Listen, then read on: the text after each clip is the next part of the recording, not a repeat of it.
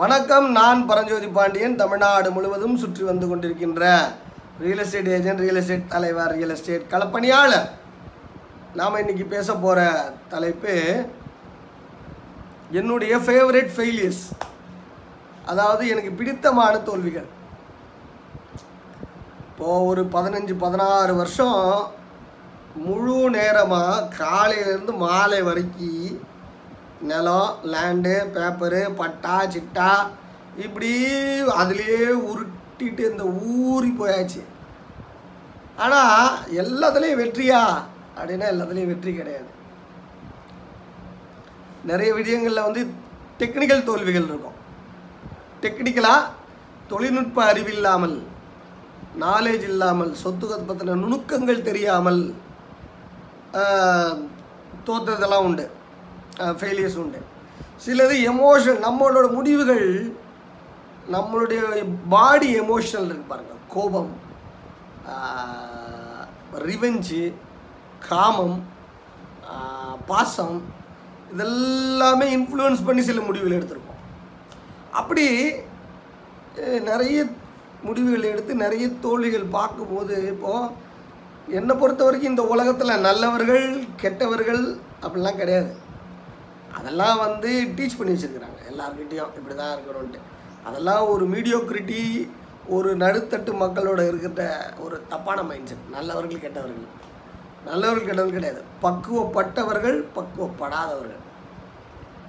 பக்குவப்பட்டானா அவன் கெட்டவனவே ஆக மாட்டான் அவனுக்கு தெரிஞ்சிடும் இதெல்லாம் போகாதடா அப்படின்ட்டு. நிறைய வன்முறை எடுக்கிறவங்க வன்முறையில் விழுறத பார்ப்பான். தப்பு செய்கிறவங்களுக்கு காசு லாஸ் ஆகிறத பார்ப்பான்.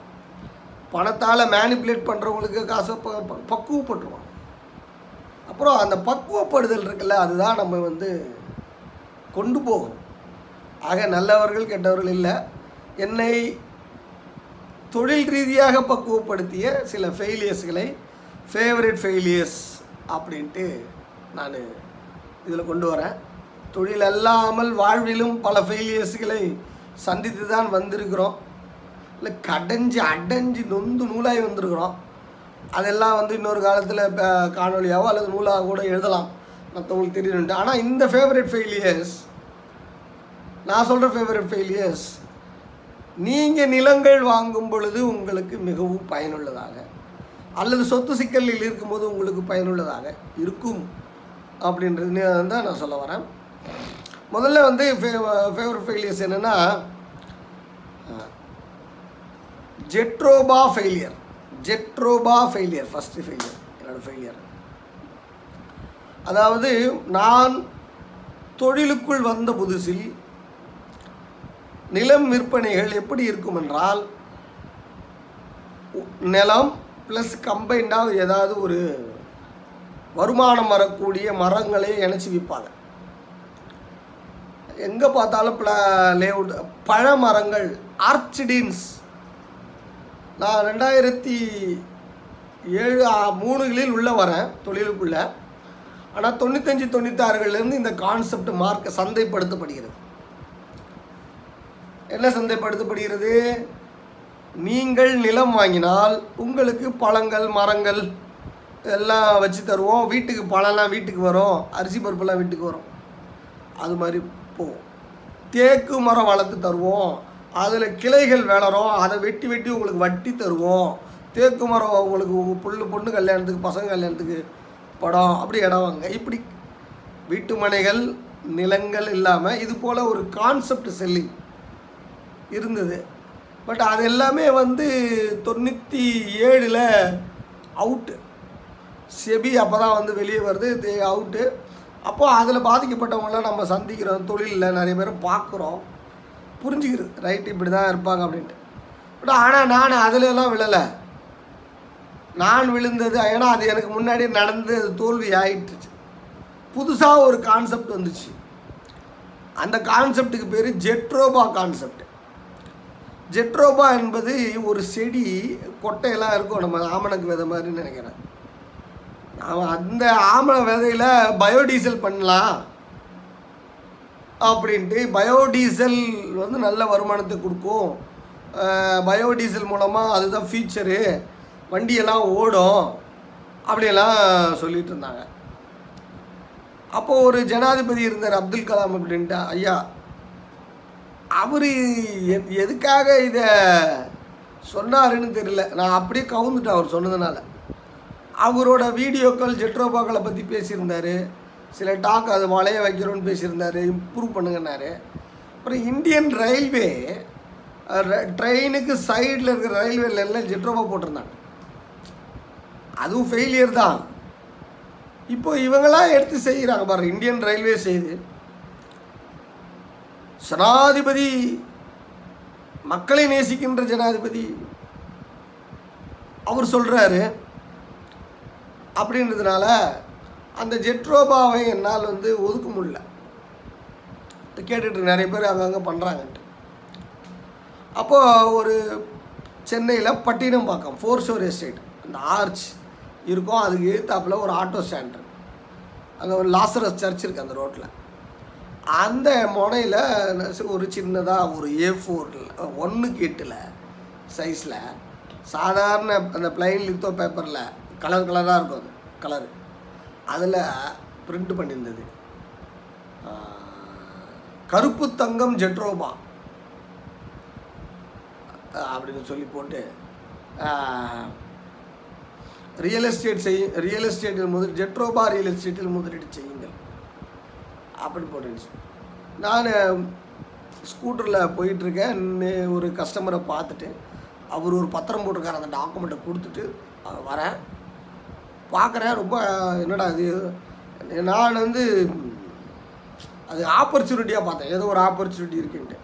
அதை படிச்சுட்டு அது இருக்கிற ஃபோன் நம்பருக்கு பேசினேன். இன்னும் எங்கே என்ன இருக்கீங்க? என்ன பண்ணுறீங்க நான் பார்க்கணும்னு பக்கத்தில் ஒரு மெடிக்கல் ஷாப் இருக்குது ஃபோர்ஸ் அங்கேயே.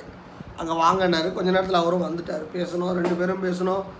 நான் ஆகா ஓஹோ அப்படின்னு ரியல் எஸ்டேட்டில் நான் அப்படி இப்படின்ட்டு நான் என்னை பற்றி அளக்க ஆரம்பிச்சிட்டேன். அந்த ஒரு ஹேபிட் அப்போ இருந்தது. அதாவது சாதிக்காதவங்க என்ன பண்ணுவாங்கன்னா சாதிக்கிறதா சொல்லிகிட்டு இருப்பாங்க. அல்லது பக்குவப்படாதவங்க சொல்லுவாங்க அப்போ நான் அந்த மாதிரி நான் கொஞ்சம் ஓவர் டாக்கு அவர் சரி நான் பா ஓகேண்ணா நல்லது நான் ரொம்ப சந்தோஷம்னா பார்ப்பேண்ணா அப்படின்னு சொல்லிட்டாரு. சொல்லிவிட்டு உங்களுக்கு அடையாறில் ஆஃபீஸ் இருக்கு நான் கூட்டிகிட்டு போகிறேன்ட்டு காந்தி நகரில் மறுநாள் காலையில் போனோம் போய் பார்த்து பேசினோம். பேசிட்டு இருபத்தஞ்சி சென்ட்டில் சென்ட்டு ஆயிரம் ரூபாய் சாத்தூர் பக்கத்தில் கரிசல்பட்டின்ற ஊரில் உங்களுக்கு இருபத்தஞ்சி சென்ட்டு நாங்கள் கொடுக்குறோம். அதில் ஜெட்ரோபா வளர்த்து கொடுக்குறோம். நாங்கள் மத்திய அரசு ரிஜிஸ்ட்ரேஷன் கம்பெனி ப்ரைவேட் லிமிடெட் நாங்கள் ரிஜிஸ்டர்டு கம்பெனி எங்களால் அதெல்லாம் செய்ய முடியும். இது பயோடீசல் கான்செப்ட்டு அப்படின்னு அவங்க சொல்ல சொல்ல சொல்ல எனக்கு அடாடா இது ஒரு நல்ல ஆப்பர்ச்சுனிட்டியாக இருக்கே அப்படின்னு. அதுக்கப்புறம் அவங்க என்கிட்ட சொன்னாங்க அண்ணன் நீங்கள் ரெண்டு பேரை சேர்த்து விடுங்க. இது ஒரு எம்எல்எம் கான்செப்ட் டைரக்ட் சேலும் பண்ணலாம் எம்எல்எம் கான்செப்டும் பண்ணலாம். நீங்கள் ரெண்டு பேரும் சேர்த்து விடுங்க. சேர்த்து விட்டிங்கன்னா அப்புறம் அவங்க யாராவது சேர்த்தாங்கன்னா அதுலேருந்து உங்களுக்கு இன்கம் வரும் அப்படின்னு அறிமுகப்படுத்தினாங்க. அதாவது பிளாட் சேல்ஸு வித்து எம்எல்எம் மிங்கிள் பண்ணியிருந்தது. நான் என்ன பண்ணேன்? நானே எழுபத்தையாயிரரூவா போட்டேன். நான் ஒன்று எனக்கு தெரிஞ்ச ரெண்டு நண்பர்கள் உள்ளே போட்டு அதுக்கப்புறம் அது கீழே போட்டோம் அப்படின்ட்டு போட்டேன். அப்புறம் நானும் ரெண்டு மூணு இடத்துல அப்துல் கலாம் சொல்கிறாருங்க பாருங்கள் இந்தியன் ரயில்வே ஜெட்ரோபா வழங்குது பாருங்கள் இப்படின்ட்டு நிறைய பேர்கிட்ட போயிட்டு மார்க்கெட்டிங் பண்ணுறோம் பெரிய அளவில் எனக்கு புக்கிங் இல்லை வரவேற்பு இல்லை. நான் போன ஆளுங்கிட்ட காசு இல்லை. அதாவது சரியான ஆளை போய் தேர்ந்தெடுக்கல. அப்படி போயிட்டு இருந்துச்சு கொஞ்ச நாள் கழிச்சு அண்ணன் நான் வந்து என்னால் இந்த தொழில் பண்ண முடில நான் எனக்கு புரோக்கர் தொழிலெலாம் கரெக்டு நான் அதை பார்க்குறேனே இது எனக்கு உனக்கு ஓடலை. இப்போ போட்டிருக்கிற எழுபத்தையாயிரரூவாய்க்கு எனக்கு இடம் கொடுங்க நான். என்ன சொன்னாங்க உங்களுக்கு முதல்ல நீங்கள் போட்டிங்க இல்லையா? உங்களுக்கு முதல்ல ஒரு இருபத்தஞ்சி சென்ட் கொடுத்துட்றோம். மற்றவங்களுக்கு இன்னும் டைம் இருக்குங்க நாங்கள் தரோம் அப்படின்னாங்க. சரிங்க அப்படின்னு. எப்போ சாத்தூர் வருவீங்களோ பத்திரம் போடுங்கன்னாங்க. நான் அப்போவே வந்து தமிழகம் முழுக்க ஒரு ட்ராவல் பண்ணுற ஒரு ஒரு மூடில் இருந்தேன். அதனால் வந்து நான் நான் சாத்தூர் வந்துடுறேங்கன்னு சொன்னேன் அவங்க சொன்ன தேதிக்கு நான் சாத்தூர் போயிட்டேன். ப- சாத்தூரில் பத்திரம் போட்டாங்க. பத்திரம் போடும்போது இடத்த பார்க்கணும். என்னோட சேர்ந்து ஒரு மூணு பேர் அங்கே வாங்க வந்தாங்க. நாங்கள் மூணு பேரும் ஒரு ஒரு காரில். அங்கே இருக்கிற ஒரு ரியல் எஸ்டேட் இடத்துக்காரர் நல்ல வேட்டி சட்டியோடு வந்தார். பெரிய நல்ல விஷயமெல்லாம் பேசிக்கிட்டு வந்தார். இடத்த காட்டுறார். கரிசல்பட்டிக்கு போகிறார் அது என்ஹெச்லேருந்து ஆறு கிலோமீட்டர் அந்த கரிசல்பட்டி. அந்த கரிசல்பட்டி சும்மா ஒரு ஒரே ஒரு இட்லி கடை தான் இருக்கும். ஒரு ஒரு டீ கடை இட்லி கடை எல்லாம் கம்பெட்டாக ஒரே ஒரு கடை தான் இருக்கும். அங்கே பெருசாக இருக்க அந்த ஊர்.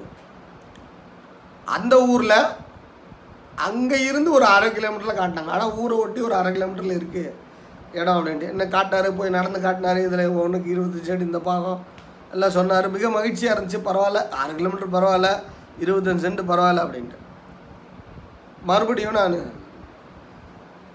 வந்து பத்திரம் போட்டோம். பத்திரம்லாம் போட்டு முடிஞ்சிச்சு. அதுக்கப்புறம் ஒரு ஒரு மூன்று ஆண்டுகள் கழித்து மறுபடியும் சாத்தூர் பக்கம் வந்து வேறு ரியல் எஸ்டேட் வேலையாக நான் போனப்போ இதுக்கு பட்டா வாங்கிடுவோம் இதுக்கு கல் போட்டுருவோம் இதை பார்த்துக்குவோம் ஜெட்ரோப்பெல்லாம் அவங்க வளர்க்கலை.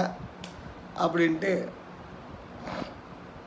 அங்கே போய் இடத்த போய் பார்க்குறேன் அங்கே அந்த எங்களுக்கு காட்டப்பட்ட இடம் ஃபென்சிங் ஆகிருக்கு அங்கே என்ன ஏது விசாரிச்சா அப்புறம் அவர் வந்தார் அந்த உரிமையாளர். அண்ணே இது எங்கள் இடம்? யாரோ ஒரு கம்பெனிக்காரங்க இது அவங்க இடம் அவங்க இடம்னு காட்டிட்டு போகிறாங்க உங்கள் பத்திரத்தை காட்டுங்க அப்படின்னு என் பத்திரத்தை காட்டினேன் காட்டினா அதோட சர்வே நம்பர் அதோட வே அது இதோட சர்வே நம்பர் வேற உங்களுக்கு இந்த லொக்கேஷனை காட்டியிருக்கிறாங்க. இந்த சர்வே நம்பர் இங்கேருந்து ஆறு கிலோமீட்டர் போகணும். இங்கேருந்து ஆறு கிலோமீட்டர் போனோம். ஹெச்ஆர்என்சி இந்து அறநிலையத்துறை காடு வரும். அந்த ஃபாரஸ்ட் காட்டை தாண்டினதுக்கு அப்புறம் தான் எவ்வளோண்ணா போகும்? ஏக்கர்னா ஒரு ப- பதினஞ்சு ரூபா இருபது ரூபா தான் போகும். அவ்வளோதான் போகும். அதெல்லாம் யாருமே வாங்க மாட்டாங்க. அதுக்கு தடமே ஒழுங்காக கிடையாது. அப்படின்னாங்க. அப்புறம் நானும் ஷேர் ஆட்டோ எடுத்துக்கிட்டு அங்கேருந்து உள்ளே கொஞ்சம் தூரம் போயிட்டு அதுக்கப்புறம் என்னால் போக முடியாது அப்படின்ட்டான். அதுக்கப்புறம் நில்லுங்கடான்ட்டு சொல்லிட்டு நடந்து நடந்து நடந்து நடந்து நடந்து போகிறேன் போகிறேன் போகிறேன் போகிறேன் போகிறேன் அந்த ஹெச்ஆர்என்சி தோட்டம் தான் அடையாளம். இந்து அறநிலையத்துறையோட தோட்டம். அதுவே வரல. அப்புறம் அது பார்த்துட்டேன். இந்து அறநிலையத்துறை அப்படின்னு. ஏ அப்பா அதுக்கப்புறம் தான் உடனே அதுக்கப்புறம் எனக்கு போக மனசு இல்லை அங்கே எங்கள் என்னத்தை போய் பார்க்க இடம் அப்படின்ட்டு. அங்கே நின்றுக்கிட்டு அப்படியே சுற்றி பார்த்தேன். ஒரு பக்கம் முழுக்க ஃபுல்லாக முள்ளுக்காடு ஒரு பக்கம் முழுக்க எதுவுமே கிடையாது. வீடு கீடு எதுவுமே தெரியாது. அப்படியே பெரிய வனாந்திரம் பெரிய கரிசல் காட்டு பாலைவனம். தள்ளி தெரியுது நம்ம சிமெண்ட் ஃபேக்ட்ரி இது ஒன்று தான் தெரியுது. என்னடா அப்படின்ட்டு அங்கேயே கொஞ்ச நேரம் எழுபத்தஞ்சாயிரம் போச்சே. இடம் மாற்றி காட்டிட்டாங்களே. இடத்த மா- நம்மளை போய் மாற்றி காட்டிட்டாங்களே. நாம் வந்து மாற்றி பத்திரம் போட்டோமே அப்படின்ட்டு அங்கேயே ஒரு கொஞ்ச நேரம் அப்படியே ம- யார் நம்மளோட ஃபெயிலியரை வெளியே சொல்ல முடியாது இல்லையா?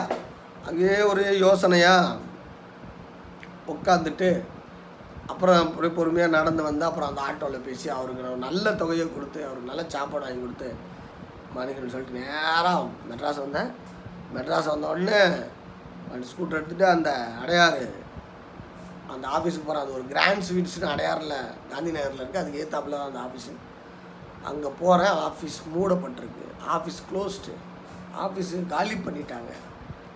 ஃபஸ்ட்டு எக்ஸ்பீரியன்ஸு என்னடா இது? ஆஃபீஸை காலி பண்ணிட்டாங்களா? ஆளை காணுமா? அப்படின்ட்டு. ஆனால் இந்த என்னை அறிமுகப்படுத்தினாரில் அவரே எனக்கு தெரியும்.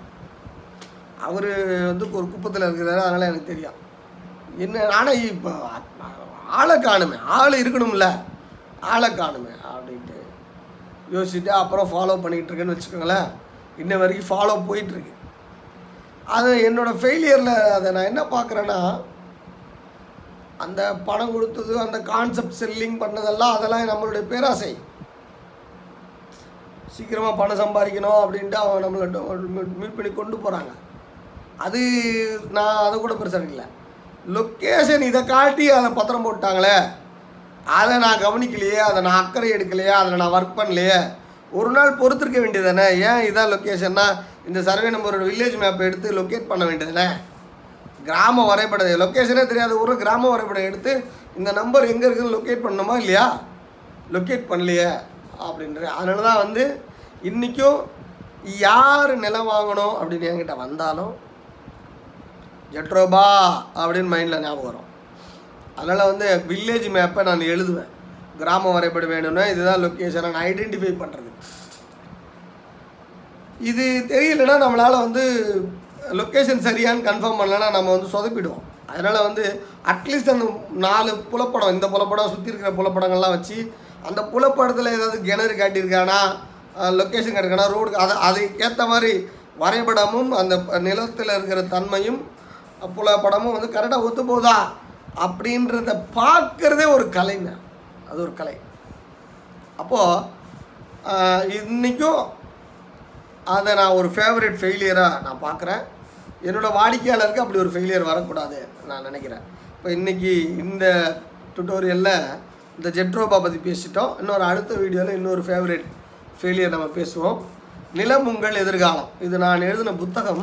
இந்த புத்தகம் வந்து பாகம் ஒன்று பாகம் ரெண்டு இருக்குது எழுதியிருக்கேன் மொத்தம் ஆயிரத்தி நூறு பக்கம் ஆயிரத்தி நூறுரூபா அமேசான்லேயே உங்களுக்கு கிடைக்குது. பேப்பர் பேக் புக்காக இந்தியாவில். இ புக்காக வெளிநாடுகளில் இருக்கிறவங்க டவுன்லோட் பண்ணிக்கலாம்.